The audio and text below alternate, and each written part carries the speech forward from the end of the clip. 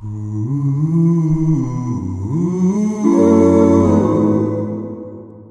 don't know how to stop caring about what other people think of me. Especially when they've they've taken a lot of time to critique me. I don't know how to not care.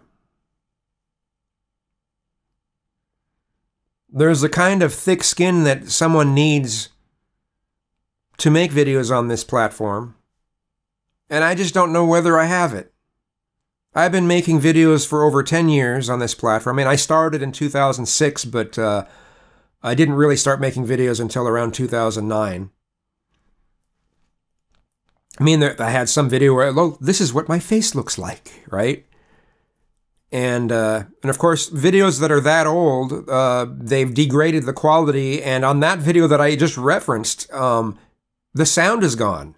The sound was there, but they've they've went through and downgraded the quality of a bunch of their older videos. It's a weird move on their part. I mean, I guess they have to save on storage, but uh, yeah, I've been on this platform for 10 years, and none of this mattered that much when I didn't have that many subscribers. I could just state how I feel, and I knew that only a certain amount of people would see it. But now that I have this many subscribers, it's just like.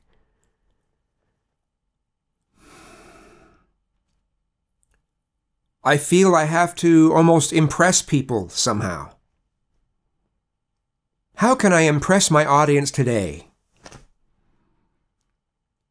Audience?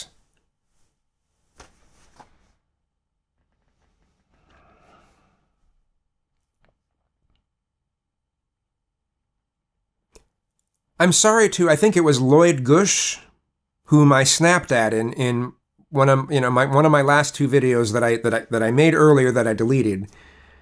Yeah, I'm sorry for snapping at you. You were you were saying, hey, hey, I thought you were going to stop making videos about uh, political stuff, and you're right. I did say that. I I don't know why I snapped at you. I shouldn't have done that. I'm sorry. Um, hope it was Lloyd Gush. Um,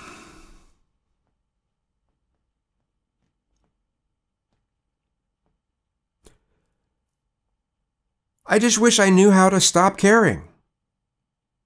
I wish I knew.